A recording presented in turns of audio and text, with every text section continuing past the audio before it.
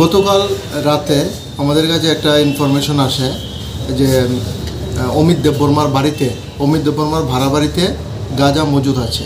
এই খবরের ভিত্তিতে আমি সহ এসআই সুনীশ চাকমা, ইন্সপেক্টর গোপাল শুক্ল দাস এবং স্টাফ টিএসআর নিয়ে তার বাড়িতে রেড করে টোটাল দুটা ট্রলি এবং একটা বাক্স থেকে চৌত্রিশ কেজি গাঁজা উদ্ধার করি এবং তাকে অ্যারেস্ট করে নিয়ে আসি। এই বিষয়ে আমরা একটা স্পেসিফিক এনডিপিএস কেসে একটা মামলা নিয়েছি যার নাম্বার সিক্সটি ফাইভ অব্লিক দুই হাজার চব্বিশ under section twenty twenty clause B clause two clause C twenty five twenty nine of NDPS act আজকে তাকে পুলিশ রিমান্ড চেয়ে আমরা আদালতে প্রেরণ করব।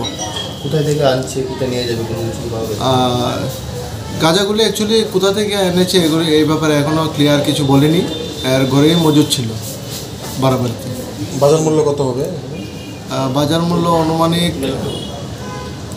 দেড় লাখ টাকার মতো হবে। কত অমিত দেব বাড়িটা কোন জায়গায়? অমিত দেববর্মার বাড়ি জম্পুই জলাতে।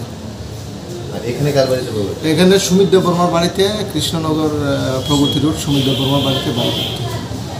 গাঁজা কত কত কিছু চৌত্রিশ কেজি থার্টি সিক্স